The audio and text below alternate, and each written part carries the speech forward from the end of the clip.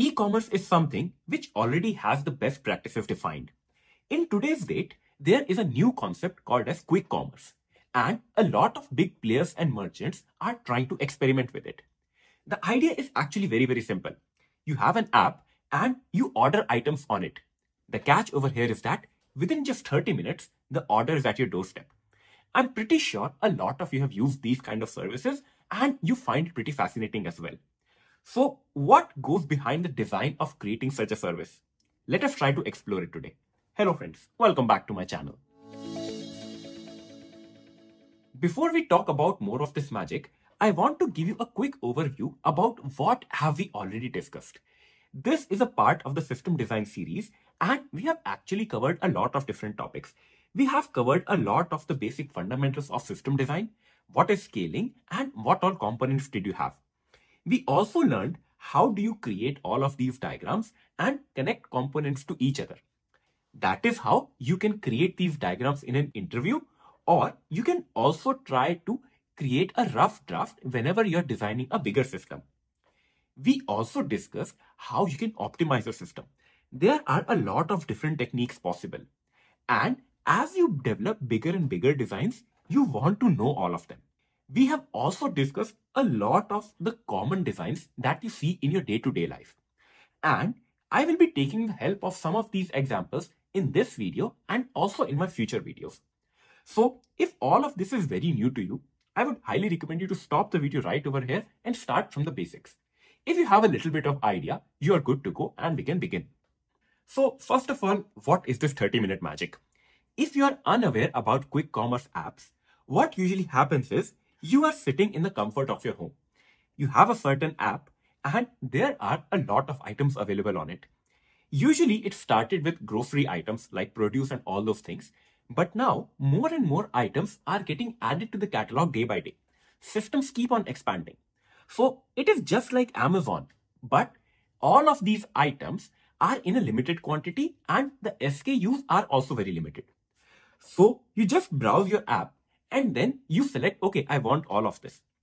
The app magically locates your nearest warehouse and then a driver is assigned who gets the order for you from the warehouse and then at your doorstep. All of this is very magical. And how do you design such a system? So notice that we won't go into all the details, like how is payment being processed, how are the delivery drivers assigned, not all of that. I just want to talk about what are the essential components that you would want when you're designing such a system. You cannot just say that, yes, I will have an app and everything will happen in it. Or you cannot say that, okay, I will host something on my server and then user can connect on it. What kind of a design should you come up with? And that is where you need to be clear about all of the requirements that you have. Because based upon your requirements, you can then decouple your system and then start to design for a bigger architecture you know that you're going to have some functional requirements and some non-functional requirements. So for example, first of all is availability connection.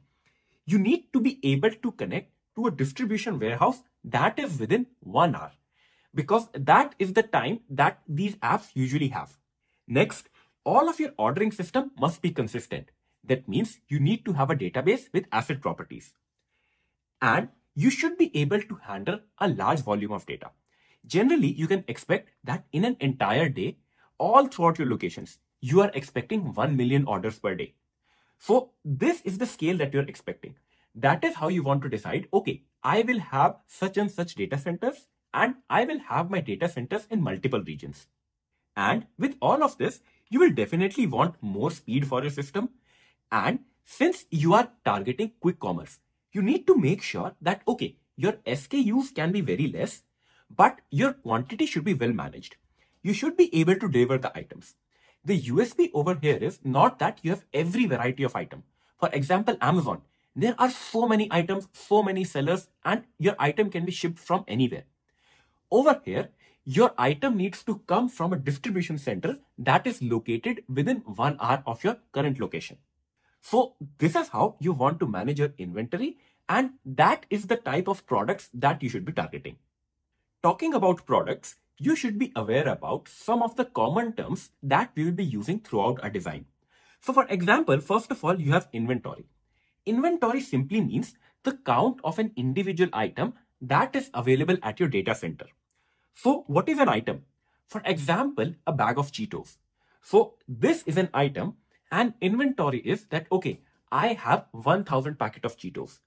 This is how you're managing your inventory. And these two terms are often confused and used interchangeably.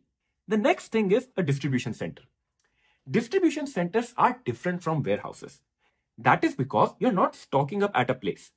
A certain distribution center is only responsible for serving the areas within its range. You will not be responsible to ship to every location. And this is very different from an e-commerce application. The last part is order. An order is nothing but a collection of all of the inventory that is ordered by the user. So you can have five bags of Cheetos, you can have two packs of butter, you can have one gallon of milk. So all of these will make up an order. Now you know all of the basic components. You will have a customer who is using your app. They are going to place an order and it is your job that you will connect to some of the other distribution center. A driver will be assigned and then you are going to deliver the order. But how does the system look like? Where do you start the call? What are some of the microservices that you will be designing?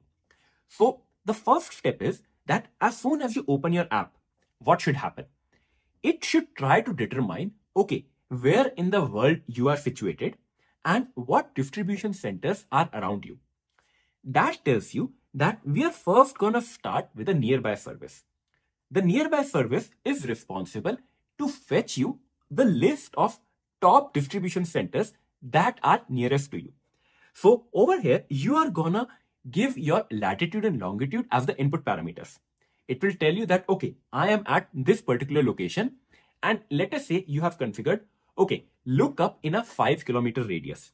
So that is where you are supplying, okay, look in this range. Now, what will happen? You will manage a database that is storing the location of each of your distribution center. So you're storing the latitude and longitude, the address, the capacity, and the region. So you see, you have every information. And this DC, it can determine whether it has to serve this user or not. So what you can do is, in your nearby service, you can try to fetch some of the top five distribution centers. And we will get in a moment why we're going for top five. Why not the closest one? Even before that, when you're calculating a distance, this is where you can distinguish between a rough design and a better design.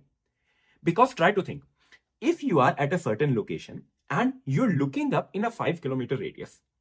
If your distribution center is right beside you, but there is a river between it, then it may feel that, okay, the distribution center is just 1 kilometer away. But the actual distance traveled by the road could be very much large. So, in a better design, what you can do is, instead of just finding out the Euclidean distance, you can try to find out the actual path from a map API. And that is what will make a better design. Up till now, what we have done is we created a nearby service. We are giving it some input coordinates. We calculate the distance and then we return a list of all of the distribution centers. I know that, okay, these distribution centers are possible. What next? Now you have to determine are all the items even available or not. And that is why we took a list of distribution centers rather than just one. So what is going to happen is I am now going to design an availability service.